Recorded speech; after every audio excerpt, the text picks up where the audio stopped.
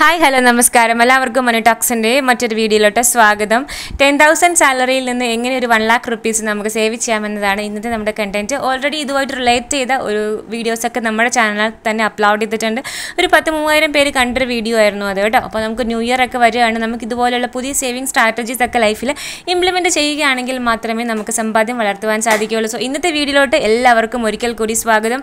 ആദ്യമായിട്ട് കാണുന്ന ആൾക്കാരാണെങ്കിൽ നമ്മുടെ ചാനൽ കൂടി ഒന്ന് ഫോളോ ചെയ്യുക കേട്ടോ. സബ്സ്ക്രൈബ് ചെയ്ത് വെക്കുക. അതുപോലെ ബെല്ലൈക്കൺ എനേബിൾ ചെയ്ത് ഓൾ എന്ന ഓപ്ഷൻ സെറ്റ് ചെയ്ത് വെക്കുകയാണെങ്കിൽ ഞാൻ ഇടുന്ന വീഡിയോസിന് നോട്ടിഫിക്കേഷൻസ് ഒക്കെ കിട്ടും. മിഡിൽ ക്ലാസ്സിൽ നിങ്ങൾക്ക് സാമ്പത്തികപരമായിട്ട് ഒന്ന് മുന്നോട്ട് പോകണം. അതാണ് നമ്മുടെ ചാനലിന്റെ ലക്ഷ്യം. അതുകൊണ്ട് സബ്സ്ക്രൈബ് ചെയ്ത് വെക്കുക. ഇഷ്ടപ്പെടുകയാണെങ്കിൽ ഒന്ന് ലൈക്ക് ചെയ്തേക്കാം കേട്ടോ.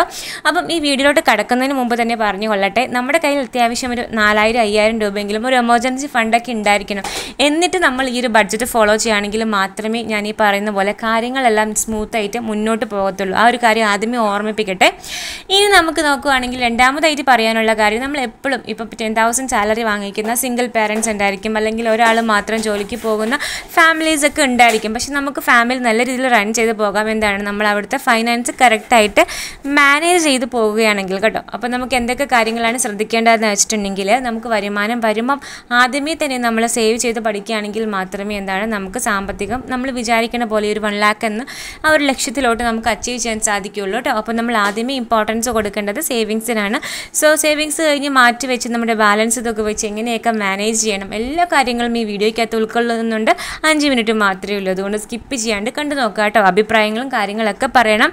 അപ്പോൾ നമുക്ക് വീഡിയോയിലോട്ട് കിടക്കാം. അപ്പോൾ നമ്മൾ ഞാൻ ആദ്യമേ പറഞ്ഞു പറഞ്ഞതുപോലെ ഫസ്റ്റ് പ്രയോറിറ്റി കൊടുക്കേണ്ടത് എന്തിനാണ്? സേവിങ്സിന് കൊടുക്കുക. അപ്പം ടെൻ തൗസൻഡ് വാങ്ങിക്കുന്ന ഒരു ആളാണെങ്കിൽ നിങ്ങൾ മിനിമം ഒരു ആയിരത്തഞ്ഞൂറ് രൂപയെങ്കിലും സേവ് ചെയ്യണം. അപ്പോൾ ആയിരത്തഞ്ഞൂറ് രൂപ നിങ്ങൾ സേവ് ചെയ്യുകയാണെങ്കിൽ ബാങ്കിൽ പോസ്റ്റ് ഓഫീസിൽ പോയിട്ട് ഒരു റെക്കറിങ് ഡെപ്പോസിറ്റ് ആണ് സ്റ്റാർട്ട് ചെയ്യേണ്ടത് സേവിങ് ബാങ്ക് അക്കൗണ്ട്. എന്നിട്ട് റിക്കറിങ് ഡെപ്പോസിറ്റ് പോസ്റ്റ് ഓഫീസിൽ നിങ്ങൾ ചെയ്യേണ്ടത് റിക്കറിംഗ് ഡെപ്പോസിറ്റ് സ്റ്റാർട്ട് ചെയ്യാന്നാണ് എല്ലാ മാസവും ഈ ആയിരത്തഞ്ഞൂറ് രൂപ ഈ ഒരു വരുന്ന അഞ്ച് വർഷത്തേക്ക് നിങ്ങൾ അടച്ചുകൊണ്ടിരിക്കുകയാണെങ്കിൽ നിങ്ങൾക്ക് ഈ പറഞ്ഞ പോലെ ഒരു ലക്ഷത്തി ഏഴായിരത്തി അമ്പത് രൂപയോളം രൂപ സേവ് ചെയ്യാൻ സാധിക്കും.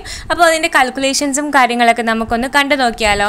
മന്ത്ലി ഇൻവെസ്റ്റ്മെന്റ് വരുന്നത് തൗസൻഡ് ഫൈവ് ഹൺഡ്രഡ് റുപ്പീസാണ് നിങ്ങൾക്ക് interest rate six point seven percentage ആണ് ഇപ്പോൾ നിലവിലുള്ളത്. അത് നമുക്ക് കാലാവധി കഴിയുന്നോടം വരെ എല്ലാ മാസവും ആറ് പോയിന്റ് ഏഴ് ശതമാനം തന്നെ നമുക്ക് ലഭിക്കും.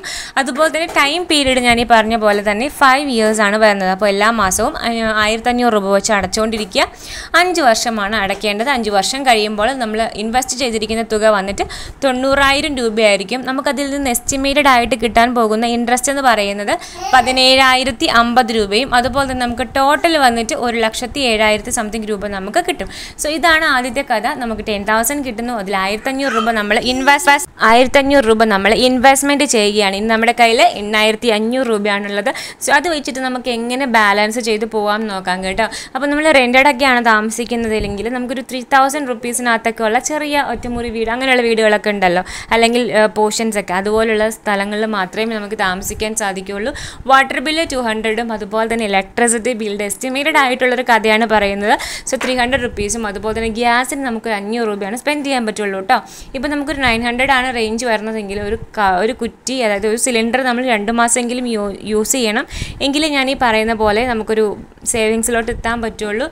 അതുപോലെ തന്നെ പ്രൊവിഷൻസും കാര്യങ്ങളൊക്കെ രണ്ടായിരം രൂപയ്ക്കകത്തോട്ട് വരണം. അപ്പോൾ നമുക്ക് മാവേലി സ്റ്റോറുകളും അതുപോലെ തന്നെ റേഷൻ കടകളിലും ഒക്കെ കിട്ടുന്ന കാര്യങ്ങളൊക്കെ ഉൾക്കൊള്ളിച്ചുകൊണ്ട് ബാക്കി സാധനങ്ങൾ വാങ്ങിച്ചിട്ട് പ്രൊവിഷൻസ് എല്ലാം കൂടെ രണ്ടായിരത്തിൽ നിർത്താൻ ശ്രമിക്കണം. വെജിറ്റബിൾസ് ആൻഡ് ഫിഷ് എന്ന് പറയുന്നത് ആയിരം രൂപയേ ഉള്ളൂ അതായത് നമ്മൾ ഒരു വീക്ക്ലി നമ്മൾ ടു ഫിഫ്റ്റി റുപ്പീസിനകത്ത് നിന്ന് സാധനങ്ങൾ വാങ്ങിക്കുകയാണെങ്കിൽ തൗസൻഡ് റുപ്പീസിനകത്തും കാര്യങ്ങൾ നിൽക്കും. അതുപോലെ തന്നെ ട്രാവലിംഗ് എക്സ്പെൻസ് ജോലിക്ക് പോകുന്ന ആൾക്കാർ വരാനും പോകാനും ഒക്കെ കോമൺ ബസ് അതുപോലുള്ള സർവീസുകളൊക്കെ നമ്മൾ യൂസ് ചെയ്യുക. അങ്ങോട്ടും ഇങ്ങോട്ടും പത്തും പത്തും ഇരുപത് അങ്ങനെയൊക്കെ ആണെങ്കിൽ നമുക്കൊരു ആയിരം രൂപയ്ക്കകത്ത് നമ്മുടെ എന്താണ് മന്ത്ലി ബസ് ഫെയർ ഒക്കെ ഉൾക്കൊള്ളിക്കാൻ സാധിക്കും. ഇനി നമുക്ക് അങ്ങനെ എല്ലാം കൂടി കാൽക്കുലേറ്റ് ചെയ്യുകയാണെങ്കിൽ എണ്ണായിരത്തി അഞ്ഞൂറ് രൂപയാണ് വരുന്നത്. And then five hundred rupees ഞാൻ മാറ്റി വെച്ചിട്ടുണ്ട്. ആ അഞ്ഞൂറ് എന്തിനാന്ന് വെച്ചിട്ടുണ്ടെങ്കിൽ കുട്ടികളൊക്കെ പഠിക്കുന്ന കുഞ്ഞുമക്കളൊക്കെ ഉണ്ടെങ്കിൽ ഡെഫിനറ്റ്ലി ഈ ടെൻ തൗസൻഡ് സാലറി വാങ്ങിക്കുന്ന ആൾക്കാർക്ക് ഗവൺമെന്റ് സ്കൂളിലൊക്കെ പറ്റുള്ളൂ. അപ്പോൾ ആ അഞ്ഞൂറ് വെച്ചിട്ട് നിങ്ങൾ ബാങ്കിൽ റിക്കറിംഗ് ഡെപ്പോസിറ്റ് സ്റ്റാർട്ട് ചെയ്യുക. ഒരു പന്ത്രണ്ട് മാസം ആ അഞ്ഞൂറ് രൂപ വെച്ച് അടയ്ക്കുമ്പോഴത്തേക്കും നമുക്ക് എത്ര രൂപ കിട്ടും? ഒരു ആറായിരം അത് കിട്ടും. അത് സ്കൂൾ തുറക്കുന്ന സമയത്ത് എടുക്കുകയാണെങ്കിൽ അവരുടെ വിദ്യാഭ്യാസത്തിന് വേണ്ടിയിട്ടും യൂസ് ചെയ്യാം. പറഞ്ഞ പോലെ കുറച്ചധികം എക്സ്ട്രാ ഒരു five thousand six hundred rupees ഒരു എമർജൻസി ഫണ്ട് ഉണ്ടെങ്കിൽ നമുക്ക് എല്ലാ കാര്യങ്ങളും മാനേജ് ചെയ്ത് പോകാനും ഇതുപോലെ വൺ ലാക്ക് സേവ് ചെയ്യാനും സാധിക്കും. ഇഷ്ടപ്പെടുകയാണെങ്കിൽ ലൈക്ക് ചെയ്യുക. Thanks for watching this video